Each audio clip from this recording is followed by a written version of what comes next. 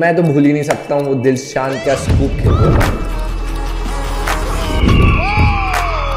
जब attractive shots की बात आती है क्रिकेटिंग वर्ल्ड में तो Suryakumar Yadav A B de Villiers का नाम बहुत आगे आता है। लेकिन लोग दो नामों के बीच में एक बहुत बड़ा नाम भूल जाते हैं। मेरे हिसाब से वो काफ़ी अंडर प्लेयर श्रीलंकन क्रिकेट के दिलशान दिलशान जब स्कूप मारते थे तो वो एकदम परफेक्शन से मारते थे। मतलब उस टाइम किसी ने सोचा भी नहीं था ऐसा शॉट खेला जा सकता था और बड़ा फ़ेमस था वो पल्लू शॉट के उससे और दिलशान वॉज़ सो परफेक्ट उस चीज़ में कि वो बॉल एकदम स्ट्रेट ट्रेजेक्ट्री में जाती थी। तो उसका नाम पड़ गया दिल स्कूप